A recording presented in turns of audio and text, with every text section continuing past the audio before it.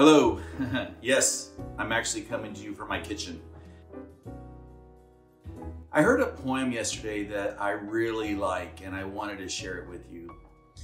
This poem was found written on the wall in Mother Teresa's home for children in Calcutta, India, and it's called Do It Anyway.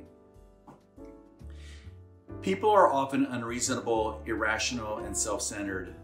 Forgive them anyway. If you're kind, people may accuse you of selfish, ulterior motives. Be kind anyway. If you're successful, you'll win some unfaithful friends and some genuine enemies. Succeed anyway. If you are honest and sincere, people may deceive you. Be honest and sincere anyway. What you spend years creating, others could destroy overnight. Create anyway. If you find serenity and happiness, some may be jealous.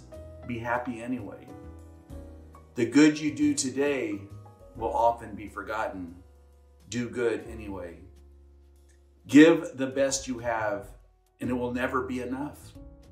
Give your best anyway. In the final analysis, it is between you and God. It was never between you and them anyway. It's a great poem with a great message. Have a blessed week.